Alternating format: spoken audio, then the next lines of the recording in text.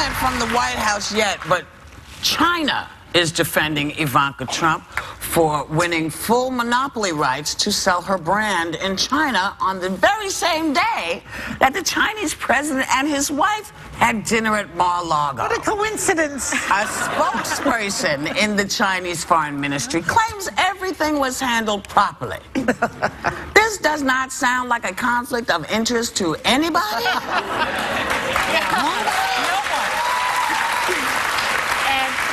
You know, I, I felt very strongly about this from the very beginning. Y'all know this. And it's because Ivanka Trump is always cast as this voice of reason within the administration and this moderating influence on her father, when now we really need to understand that she suffers from the very same conflict of interest that her father suffers yeah. from. Yeah. But it the very same they one. Have, they don't have to mutually exist. She can still be a voice of reason and moderate and still have problems. I don't, I don't think it takes away everything. I, I think it does. And, and, and let me try to explain it. The, the, the, reason that it, that it does is because when you are a public servant, when you are a servant of the people, you must put their interests first. That's right. It is very difficult to be a public servant to the people of the United States and advise the President of the United States when you have your personal financial interest at stake. Exactly why, that's exactly why it's not allowed. I have a, I have a massive problem with the conflict of interest. I'm not saying any of that is okay because the day Kellyanne Conway gave the free commercial, oh, yeah. Ivanka's uh,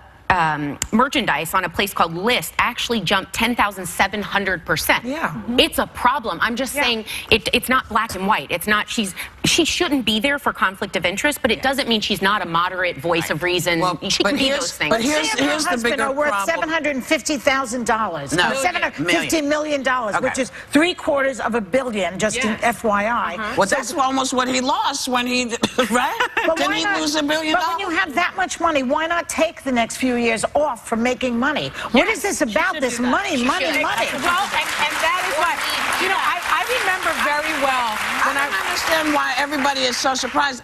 You know, he got his stuff from China two days after yes. he was inaugurated. His trademarks. His trademarks came to him. So the reason nobody's questioning is that is because he's doing it, mm-hmm. they're doing it. Yeah. The name Trump. I mean, look, there's a hotel across the street yeah. from the damn White House. Yeah. yeah. yeah. And the Trump. I mean, and foreign dignitaries are staying there. So, if this, if Ivanka is not, you know, it's an issue, yeah. but it doesn't seem to be an issue to the American people. I think also was a Trump Tower, or whatever they call it, a palace in Istanbul. Yes. Mm -hmm. That he, he even said a couple of years ago that that is a conflict of interest before he was president. Mm -hmm. And isn't that what the Emoluments Clause is about? Yes. Doing yes. business with yes. foreign governments. You're not supposed to do it. I remember when I was, I, you know,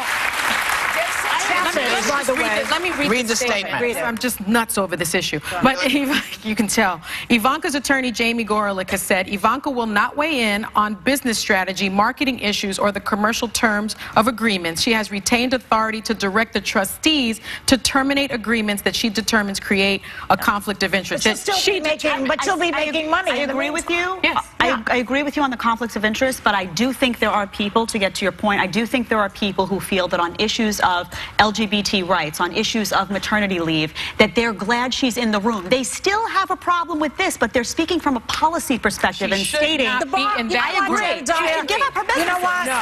We're going. We'll be right back.